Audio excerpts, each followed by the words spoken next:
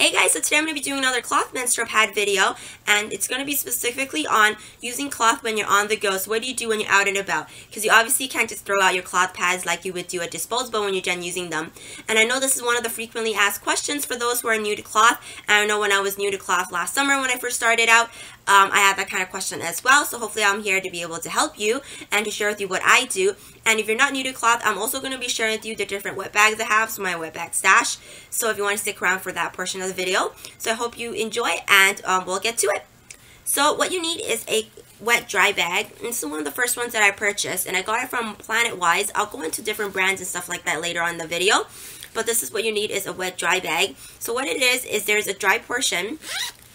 Usually there is no waterproof lining. It's made out of whatever fabric it is made out of. And in this case, it's made out of cotton. And there's usually really, really cute prints.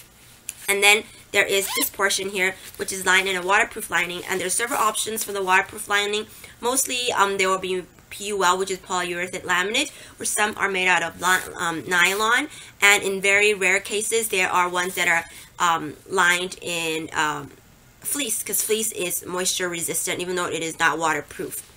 So you have the two pockets. Uh, what I would do is, um, since this is a, a, pretty long in length wet bag, um, it is 9.5 inches long, and most of my pads when I'm out and about, they're no longer than 9 inches. So what I would do to store them, um, to bring them out with me, and this is a 9 inch County Cloth Creations pad, I would just snap the wings. Okay, and then I would just put it in lengthwise. I don't even need to fold it in thirds or fold it whatsoever. And it fits comfortably four to five pads in here. And I feel comfortable personally to bring four to five pads when I'm out with me at all times so that um, I know I have enough pads to change, whether it is heavy flow or light flow or whatever. Um, if, if I'm on heavy day, I would just bring four to five heavy pads. If it's moderate flow, I would bring four to five moderate pads and so on and so forth. And when I need to go and change it, I would just take this with me to the bathroom. No one needs to know what I'm doing. This just looks like a cosmetic bag that you're um, toting around to the bathroom. No one needs to know what, um, what there is in here. So let's say um, this is used. So this is soiled. So I would just fold it in thirds. Even though cloth pads don't smell, I would still suggest you to just contain it inside. And so fold it in thirds with the soiled portion inside. And then just snap the wings so it's like a little small pouch. And what you do when you have this pouch is you just open your your um, waterproofing um, layer section, so the, the wet portion, and then just put it in here, and then zip it up until you go home. And once you get home, and what I do personally, is this larger wet bag. I don't know what brand this one is, but it's from Etsy. I'll link everything below if you want to go check them out. And um, I think this is the medium size. It's, I think, 10 by 13, something around there. And what I would do is I would take the all the soil pads that are in the little um, pouch like this, and I would just store them in here and until the wash day. And if you want to see how I wash it, I have an easy and lazy method on how to wash cloth pads video. I'll link it in the below bar if you want to go check that out. So that's generally what I do. is really, really simple. Um, um, to do when you're out and about so you don't have to worry uh, about using cloth and not wondering um, where to put um, your soil pads and stuff this like one, that. the one I've been showing you is from Planet Wise. Um, Planet Wise is actually a really good brand um, for making wet bags or wet dry bags and um, they're generally meant for um, cloth diapers, toiletries, makeup and stuff like that but you can definitely use it for cloth pads as well and they're really high quality and for the waterproofing section you're not supposed to actually store water in there but I did a test for a cup of water and actually held really well. I tried it on my other wet bags and that leaked so these are really good and also antimicrobial and they're made out of really, really good quality. You can purchase this through a number of means. Um, you can get on Amazon as well as, um, I think as well as their own website. But I purchased through Luna Pads and I think Tree Huggers, they sell it as well. So if you want to look into um, something like Planet Wise, you can definitely do that. I do have another one from Planet Wise that I purchased um, after that. Um, I use it now um, for um, wet bathing suits and stuff because I do go to the pool um, with my work um, with the kids. So I need to store my wet bathing suit. And I trust this one because this is really good quality. So I'm not afraid if I put something that is kind of more wet in here. I know I won't leak everywhere in my bag. And I think this one is really small. I think this one is like, I don't know. It's pretty small wet bag. It's And it's only called a wet bag because there is no dry portion and there's only one pocket. And they all come in these really, really, really cute prints. So um, I've decided to purchase um, a couple more other wet bags because of, like I said, there's no loop for this one. And I have the issue with the loop thing. And I was looking at different means, and um, I know Etsy sells a lot of them. A lot of the work at home moms sell them. But um, they're all really expensive, and I heard it's because of the materials used or the way that it's made. It, um, it is really expensive. So that's why they charge a lot for um, you to buy one. And they're around 20 to $40. And um, usually, some of them are really small, and you can fit one or two pads. So I um, looked into, um, you can also get um, them from Amazon or eBay and stuff like that.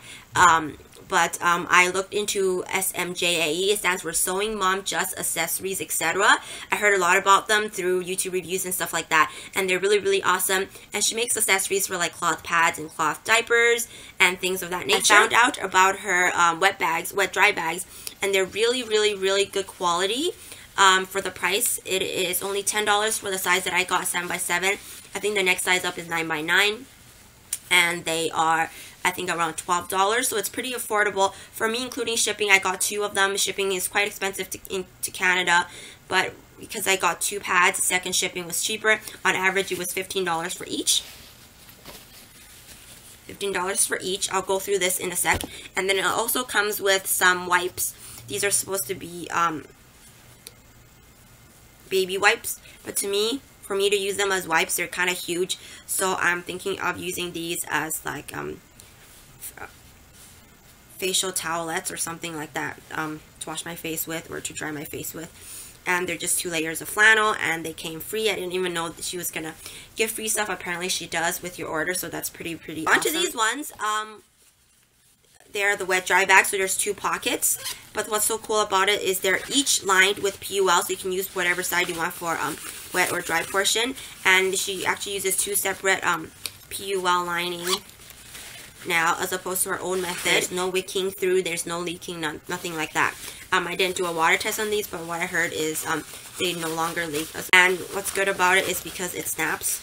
So you can unsnap it and store it like this or you can snap it when you want to wash it and so this is this one I like it because it's the Save the Earth print and then you know cloth pads, eco-friendly, all this kind of stuff so I thought this print was suitable and I got this print because I really like it um, this flowery print and I'm using it right now so the side with the loop um, is I put clean pads and you can fit comfortably like four to five pads in here and because just, they're a square wet bag you have to store the pads in a pouch you can't just store them um, like you do lengthwise. And then also here, this is the wet portion. There's nothing in there right now. And what I like about it is they're really cute and there's a loop and you can just carry it around with you. Um, one last wet bag I want to share with you is this one, which I remember the, um, the name. It's The brand is called Poshteriors and it's on Etsy. And what's good about this as well is you can hang it in your, you know, um, your rack in your bathroom or in your room or whatever. And um, there's some panty liners that I've used in here, so I don't want to open and show you. But this is a really cute print. This is um, smaller. I think it's 9 by 12, 9 by 11. It's smaller than the other blue one I just showed you. But still, again, um, pretty cool to use at home. That's basically it for the video. I hope you enjoyed it and know what to do when you're out and about. It's pretty simple. Just grab one of the wet dry bags and stick your pads in there and you're good to go. And thank you for watching and I'll see you next time. Bye!